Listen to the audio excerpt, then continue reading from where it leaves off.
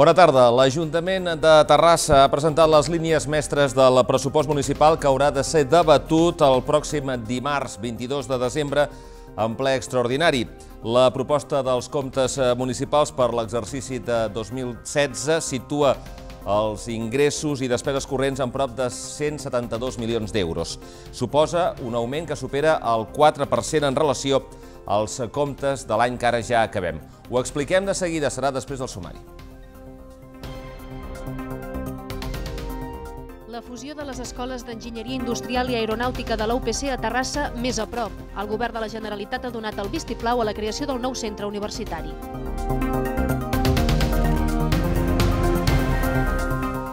L'elit de la natació catalana i espanyola es torna a citar al Club Natació Terrassa en una nova edició del Campionat de Catalunya d'hivern. Hi participaran un total de 550 nedadors de 66 clubs.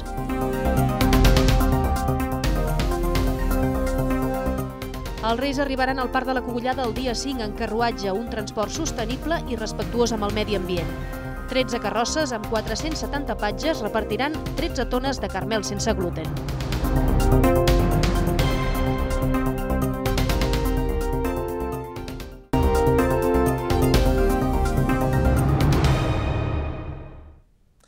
Com dèiem, l'Ajuntament de Terrassa ha presentat les claus del pressupost municipal en una sessió informativa que s'ha fet aquest dimecres a la tarda oberta a tota la ciutadania. L'activitat està marcada en les sessions formatives per donar a conèixer l'elaboració del pressupost municipal que haurà de ser debatut en el ple de la setmana vinent. El tinent d'alcalde de Serveis Generals i Govern Obert, Alfredo Vega, ha presentat aquest dimecres la sessió informativa Claus del pressupost municipal 2016. L'objectiu de la trobada, que s'ha fet al Centre Cívic Municipal President Macià, ha estat el de poder informar i traslladar el debat polític i social sobre el plantejament del pressupost municipal a la ciutadania. L'activitat forma part d'un cicle de sessions formatives per donar a conèixer l'elaboració del pressupost municipal, que haurà de ser debatut el pròxim dimarts 22 de desembre en ple extraordinari. En aquest sentit, la darrera sessió, claus per entendre i debatre el pressupost municipal, es va realitzar el passat 21 d'octubre a la sala d'actes del Centre Cívic Municipal Francesc Macià. De la mateixa manera, el passat 10 de desembre també es va informar sobre els pressupostos als Consells Municipals de Districte. L'Ajuntament està treballant amb l'objectiu de poder avançar en el cicle econòmic pressupostari, tramitar i aprovar el pressupost municipal abans d'acabar l'any perquè entri en vigor el dia 1 de gener de 2016. La proposta dels comptes municipals per l'exercici 2016 situa els ingressos i despeses corrents en 171,8 milions d'euros, un 4,21% superior al d'aquest any. Doncs parlant dels eh, pressupostos per l'any que ve, que hauran de ser debatuts la propera setmana, la formació política Terrassa en Comú s'hi abstindria a canvi que l'equip de govern tingui en compte algunes de les seves propostes. Les dues més destacades busquen cohesionar barris i treure eh, més a profit dels polígons industrials. Terrassa en Comú encara no té decidit el sentit del vot en el ple de pressupostos de dimarts que ve. La coalició d'esquerres ha presentat al govern un seguit de propostes que voldria que fossin incloses en el projecte que sometrà a votació. En vol destacar dues. D'una banda, el projecte de carrers principals per dinamitzar barris. Es tracta de detectar uns 8 o 10 carrers de la ciutat que puguin cohesionar el seu barri, un rol que ja existeix en algunes zones, però que es creu que manquen d'altres. Les actuacions a fer en aquests carrers principals, que no han de ser urbanístiques, s'hauria de fer, segons Terrassa en Comú, en un procés participatiu amb els agents implicats com en el vapor gran. Proposen destinar al projecte 2 milions d'euros que inclouen la redacció del pla, la creació de les estructures de gestió i la seva execució. L'altra proposta passa per un projecte d'intervenció integral en polígons industrials. Es tracta de fer una diagnosi completa per avaluar les potencialitats dels polígons existents més enllà d'un simple recompte de naus disponibles i abans de desenvolupar-ne de nous. En aquest cas, proposen destinar 150.000 euros per fer l'estudi.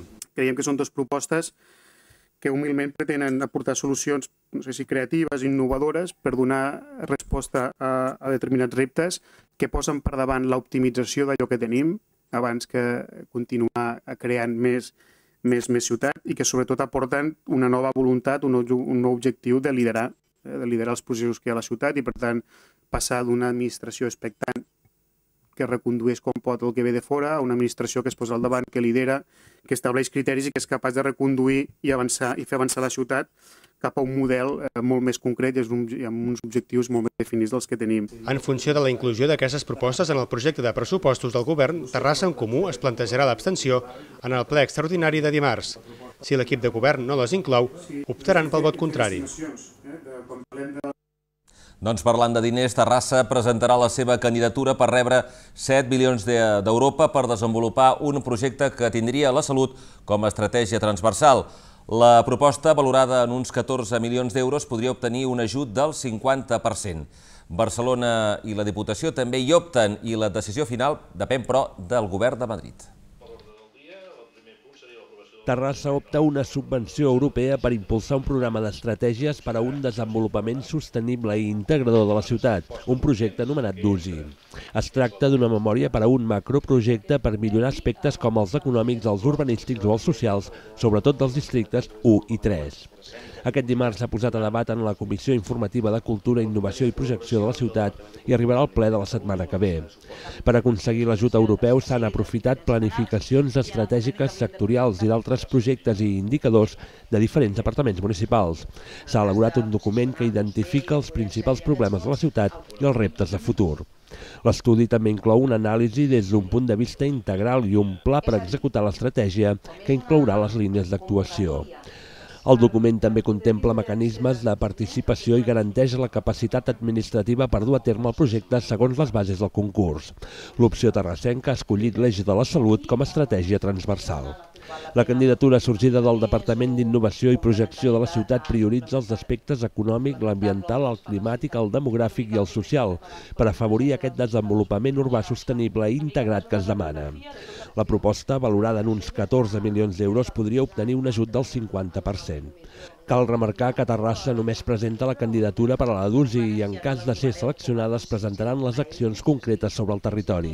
Després la ciutat identificarà i prioritzarà les operacions i projectes a desenvolupar dins l'estratègia. En la reunió prèvia al ple, l'oposició va objectar que algunes de les actuacions no s'ajustaven a les prioritats actuals, però van considerar positiu optar a una subvenció que permetrà una important transformació multisectorial, transversal i social. El procés de fusió de les dues escoles d'Enginyeria Industrial i Aeronàutica de la Universitat Politècnica de Catalunya Terrassa és més a prop. El govern de la Generalitat ha donat el seu vistiplau a la creació de la nova escola que portarà el nom d'Escola Superior d'Enginyeries Industrials, Aeroespacials i Audiovisuals de Terrassa.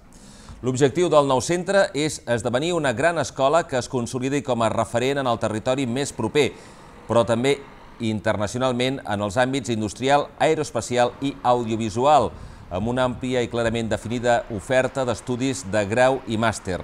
Neix també amb la voluntat de potenciar la recerca i els estudis de doctorat.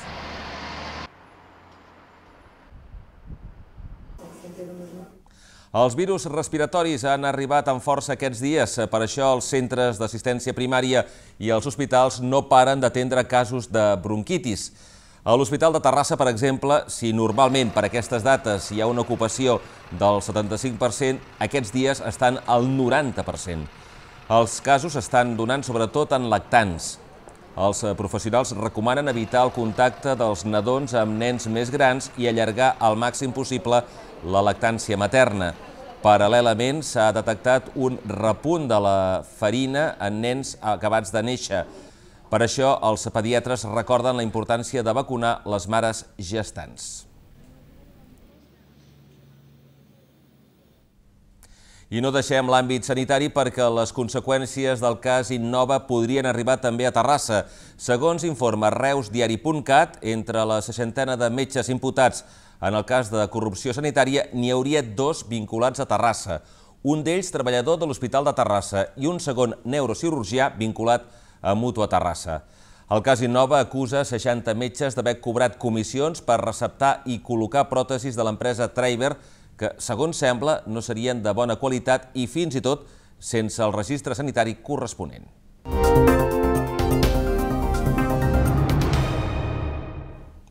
Un grup de membres de Solidaritat Antirepressiva de Terrassa s'ha concentrat aquest dimecres al vespre davant de l'Ajuntament per donar suport a un objector de consciència. Sota el lema de per la llibertat de pensament i l'objecció de consciència al sistema electoral, els convocants han volgut fer costat a un jove al qual ha decidit no presentar-se aquest diumenge a la mesa electoral a la que ha estat convocat per les eleccions generals. En concret, el jove ha decidit exercir el seu dret a la llibertat de pensament i objecció de consciència al rebutjar el que considera que és una imposició. El company ja totalment desmesurada i perquè fem reveler el dret a la que garanteixen els drets. En aquest punt repassem el més destacat de la campanya electoral a la nostra ciutat a les últimes hores. Avui, penúltim dia de campanya.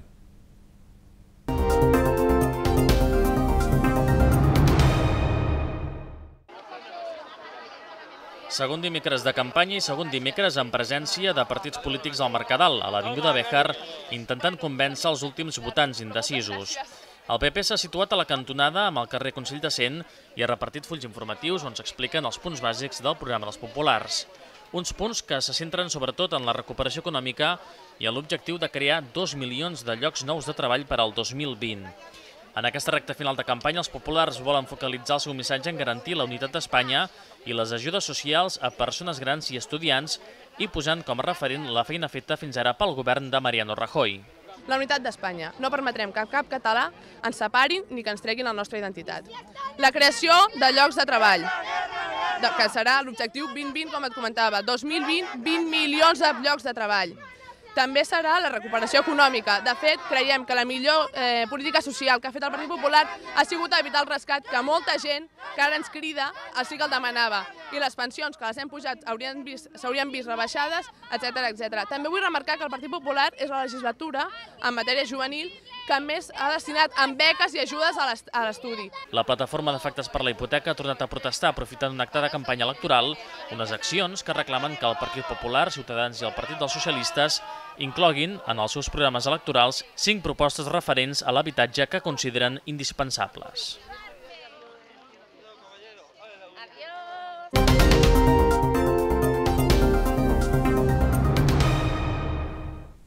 Un got més, les instal·lacions del Club Natació Terrassa acullen el Campionat de Catalunya Absolut Open Internacional de Natació.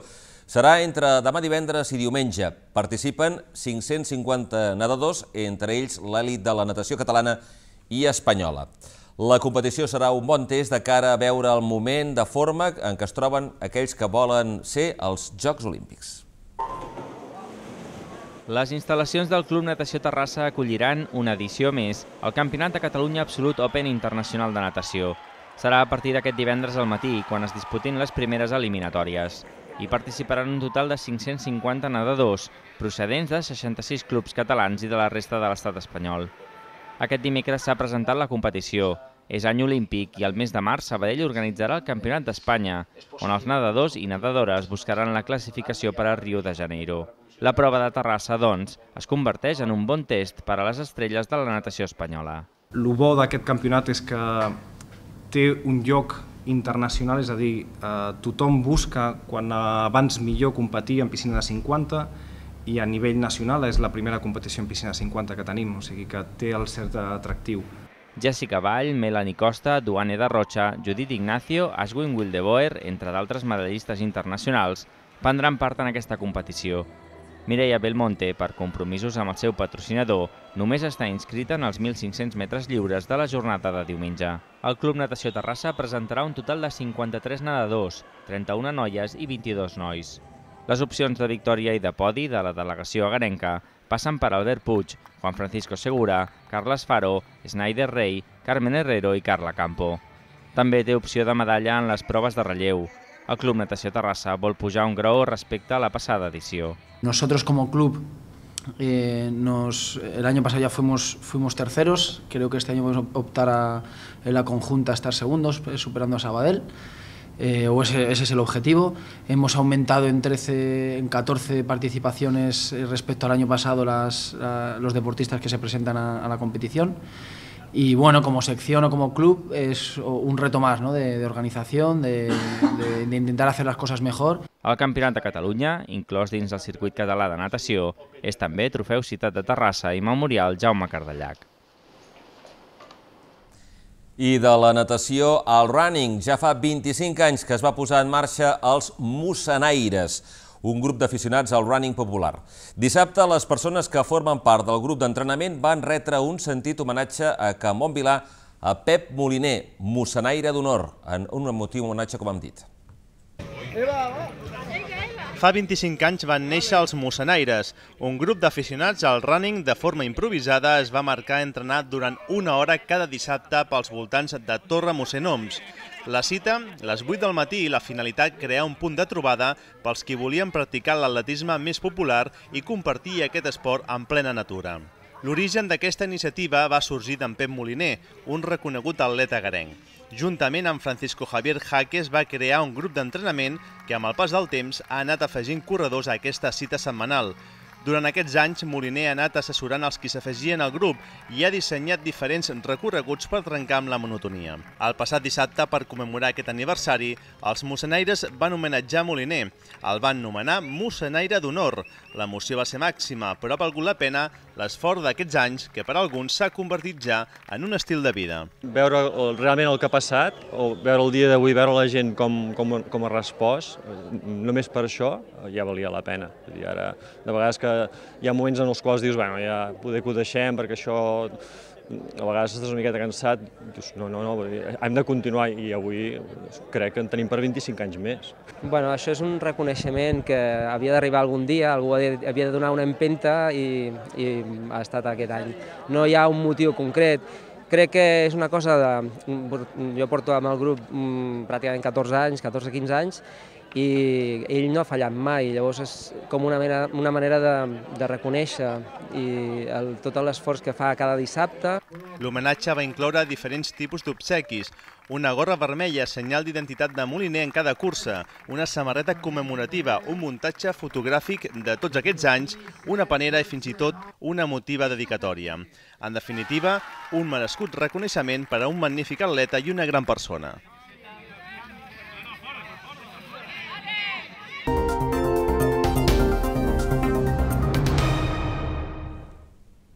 Tot és a punt perquè els Reis d'Orient arribin a Terrassa el proper dia 5 de gener.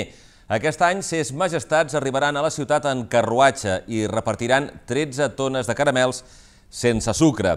El Centre Cultural Social organitza la cavalcada des de l'any 1916, però serà el 2017 quan celebri el centenari amb tres carrosses noves.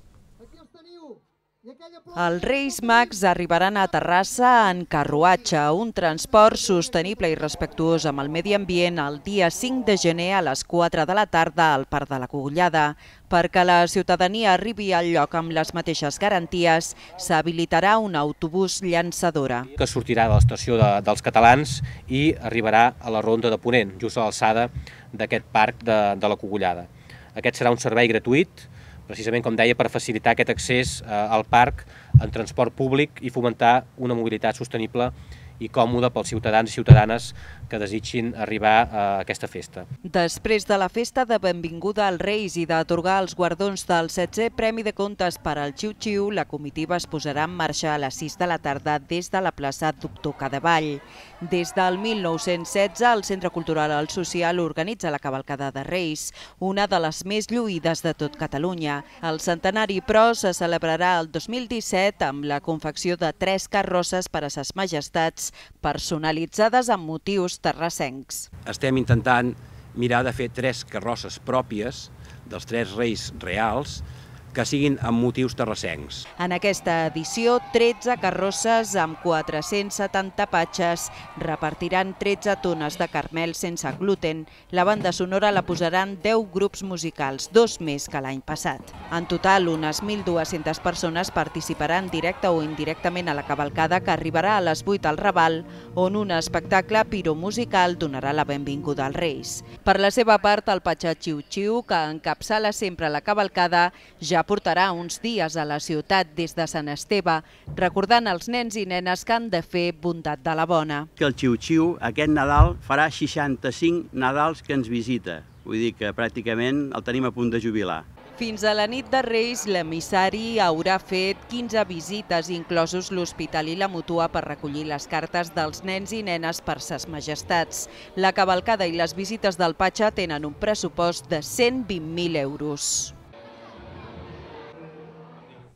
Els nens i nenes de P5 de l'Escola Pia de Terrassa han realitzat aquest dimecres a la tarda un pessebre vivent obert a les famílies.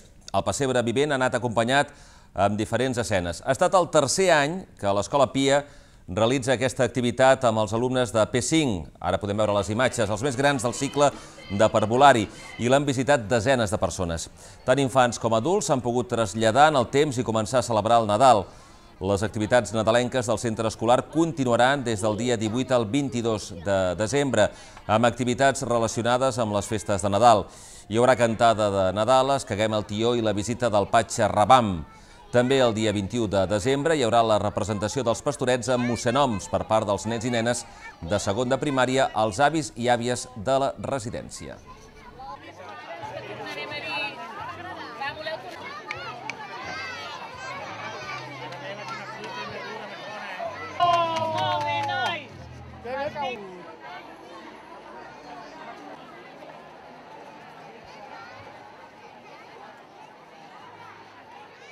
La revista Terme estrena edició amb un monogràfic sobre Sant Miquel d'Ègara. Aquest dimecres s'ha presentat a l'Arxiu Històric L'església de Sant Miquel ha estat sempre un edifici 100% funerari i que mai ha disposat d'un espai per a una piscina baptismal. El nou número dedica la portada a un monogràfic sobre Sant Miquel d'Ègara amb cinc articles en profunditat sobre aspectes arquitectònics, artístics i historiogràfics. Sembla indicar que, que, que no és baptisteri, que el baptisteri es va trobar en un altre espai i que eh, l'església va ser utilitzada com a edifici funerari des d'època visigòtica ben bé fins a, fins a, fins a època moderna de manera continuada. Aquest dimecres s'ha presentat a l'Arxiu Històric l'edició d'aquest any, que també conté un article sobre un militar suís que va defensar Terrassa a la Guerra del Francès o la vida i l'activitat del polític republicà Miquel Palet i Riera. En aquesta edició, Terme arriba al número 30, tres dècades d'existència amb una bona salut de continguts. Cada any és un èxit treure la revista, eh? costa molt d'esforç de, de, de gestió, hi ha molta feina, però el que ens satisfà és que cada any tenim moltes propostes d'articles, és a dir, eh, els historiadors i l'estoriografia a Terrassa continua tenint un moment francament molt vital i això ens dona la tranquil·litat de poder eh, seguir continuant amb, amb, amb aquest projecte. Terme, considerada una de les millors publicacions en el seu gènere, és un espai per a la discussió historiogràfica i la preservació de la memòria i la història local i comarcal, seguint criteris científics i acadèmics per al coneixement de la societat. Es tracta d'una publicació anual del Centre d'Estudis Històrics de Terrassa que dona suport i promou la investigació i la seva divulgació amb l'objectiu de deixar constància el més fidel possible del nostre passat. Seguim parlant de publicacions, deixem la revista Terme i el Centre Excursionista de Terrassa ha publicat una nova edició de la revista Arxiu. Aquest dimecres al vespre s'ha fet la presentació de la nova publicació a la seu del centre. L'equip de redacció d'Arxiu està integrat per Martí Puig, Eduard eh, Vives i Salvador Vives que han presentat el nou número. Es tracta de la publicació periòdica més antiga d'una entitat a Terrassa i una de les més antigues en l'àmbit excursionista a Catalunya. L'arxiu té per objecte la publicació de treballs relacionats amb els diferents àmbits d'actuació del Centre Excursionista de Terrassa i de les seccions que la integren. El primer número de l'arxiu data de l'octubre-desembre de l'any 1911. I ens acomiadem amb imatges de la tretzena edició de la trobada de corals de secundària Terrassa 2015 que ha tingut lloc aquest dimecres a l'atri de l'Ajuntament. En la trobada hi han participat un total de 380 alumnes dels instituts Agara, Viladecavalls, Torre del Palau, Can Jofresa i de les escoles La Nova i el CIM. Amb les seves cançons ens acomiadem. Gràcies per la seva atenció. Bona tarda.